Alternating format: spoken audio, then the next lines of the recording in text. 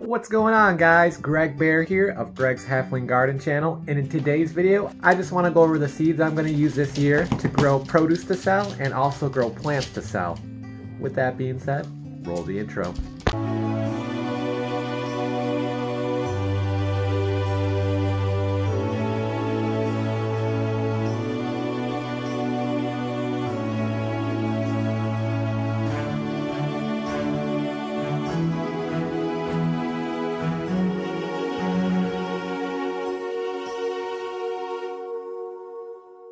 But first, how about a lonely little shih tzu on a couch?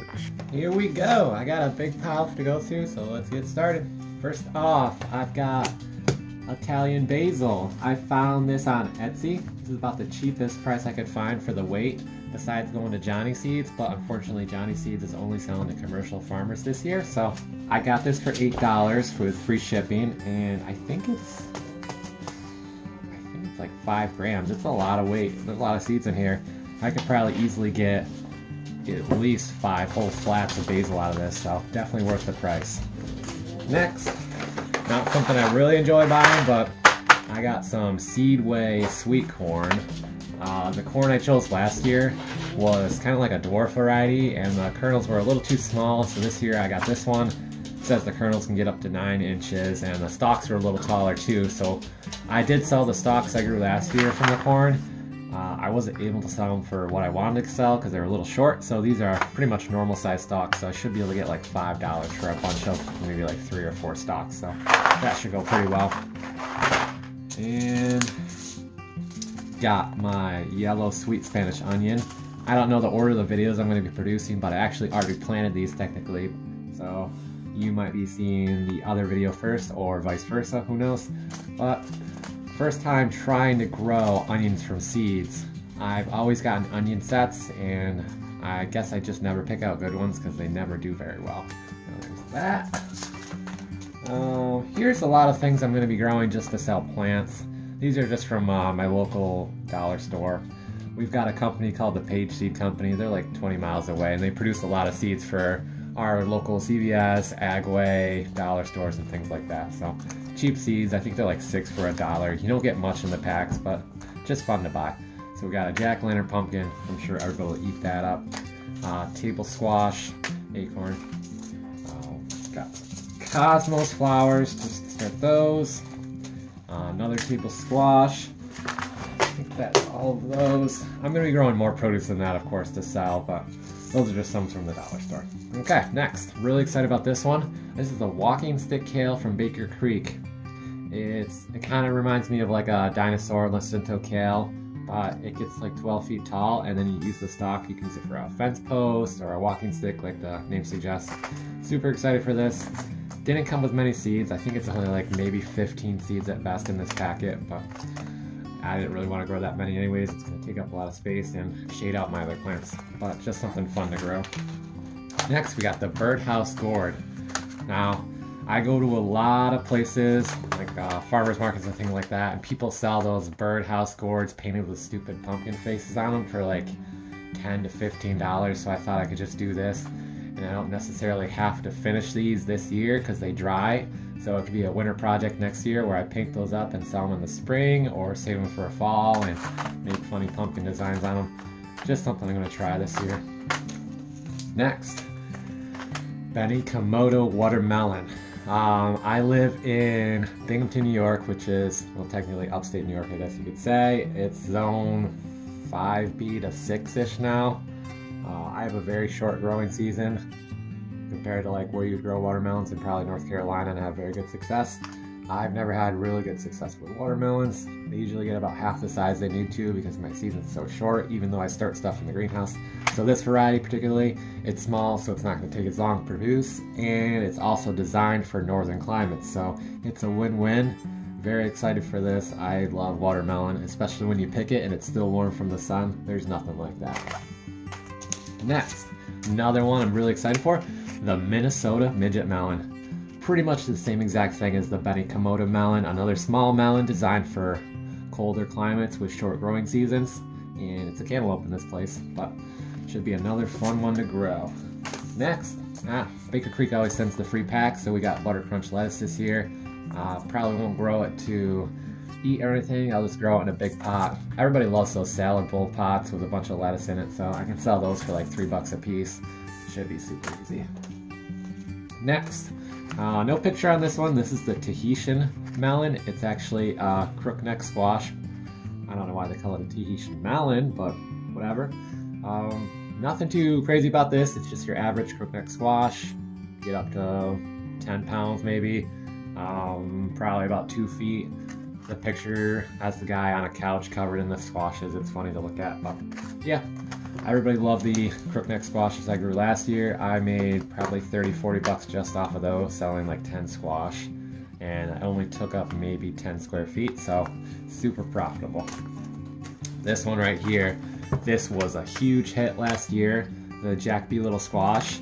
They get up to maybe five or six inches of diameter, and my one vine produced over 20 little squash on it. So I'm definitely gonna up this to probably at least, hopefully five to 10 vines, especially if I expand my garden one more time, which I'm really considering, even though I don't want to take up more yard space. Uh, we'll see. Definitely a super profitable one. It makes the stand look great. These pumpkins just look beautiful when they're on display. All right, another one I'm super excited for after looking through the Baker Creek catalog.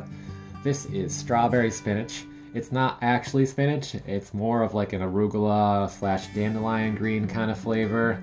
And it produces these berries on here, which they say have a slight hint of watermelon and strawberry flavor to them. Super excited for this. Should be very interesting. Not something I'm gonna sell at the stand, just something for me to try because I love berries. Okay. Uh, I don't think Marketmore cucumbers need any explanation. They're one of the most popular along with straight 8 cucumbers for cucumber growth in North America. Probably one of the ones you'd find at the grocery store. Just a standard cucumber, get like 8 inches long, straight, and nice seed pack inside and super crispy, crunchy when you eat them. Yeah, I always grow cucumbers. I always usually use straight 8 or Marketmore. They're always successful. All right. Another one I'm super excited for. This is the King of the North pepper. Like I said, I live in a colder climate with a short growing season. Uh, last year I grew, uh, I think just a standard bell pepper. I couldn't tell you the name anymore, but did fairly well. Um, I started producing probably in late July, maybe mid-August, so my season of production was only like a month, honestly, after all that plant growth. So I found this pepper. It's designed to grow in the north, and it's a smaller bell pepper, so I should see a little bit more production now, hopefully. Really excited for that one. Here's another one, the Rewa pepper. I honestly don't know why I picked this. It just looked really cool and the description was nice. said it was a super prolific producer and also sweet and it fit into my category of uh, kind of like a lunchbox size pepper. Something maybe three or four inches long, but not as big as a bell pepper. Here is another super exciting one for me. If you looked at the Baker Creek catalog this year, they have habanero peppers that aren't spicy.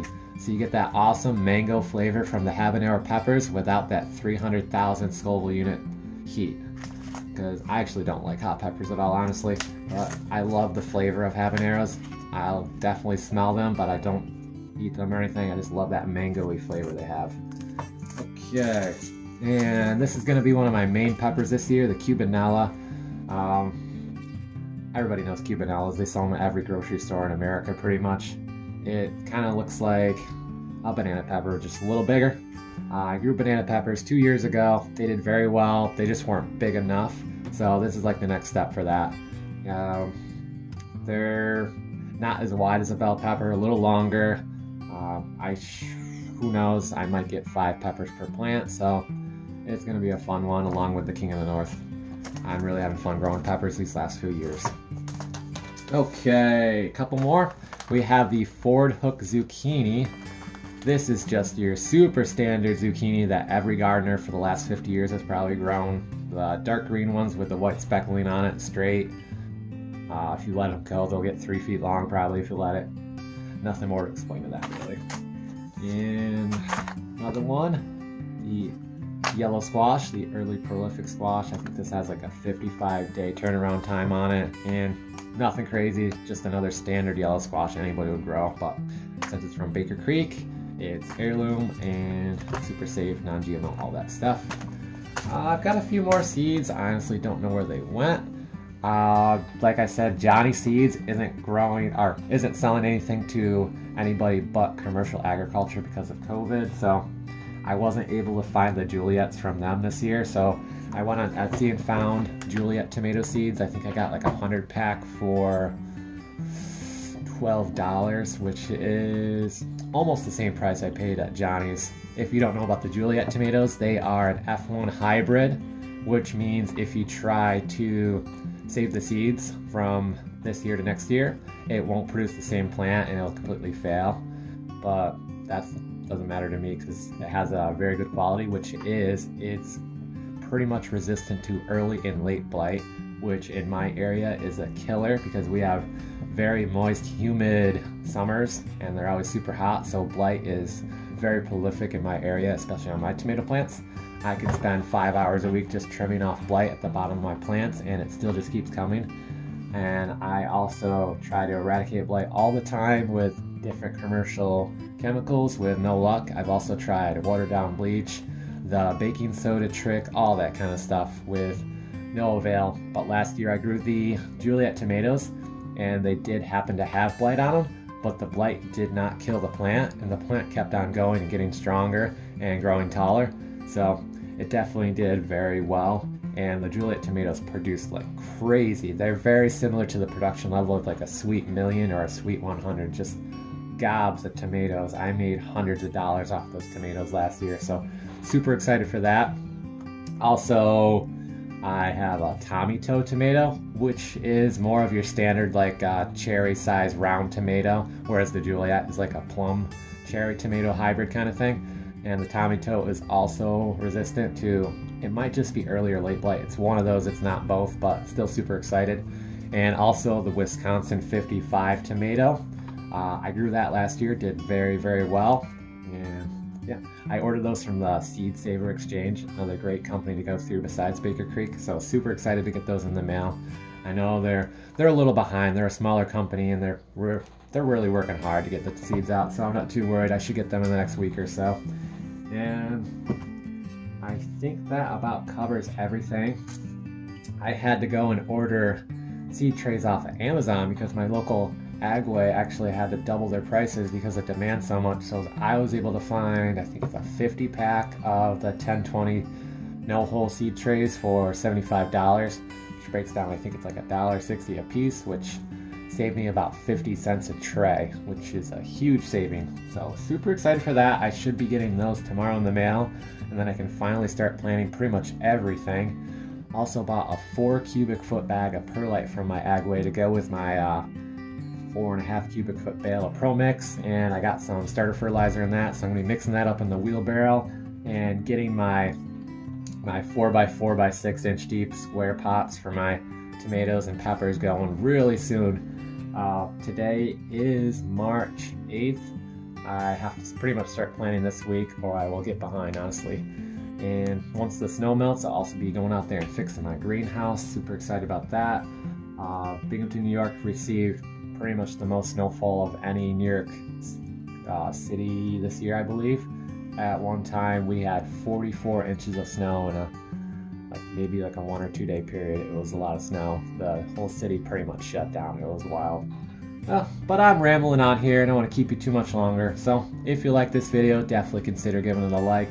If you want to stay in the know for future uploads, definitely turn on the notification bell make sure it's set to notifications on always. And of course, consider subscribing to the Greg's Halfling family. Become one of my halflings, and I will see you guys next video. Greg Bear out.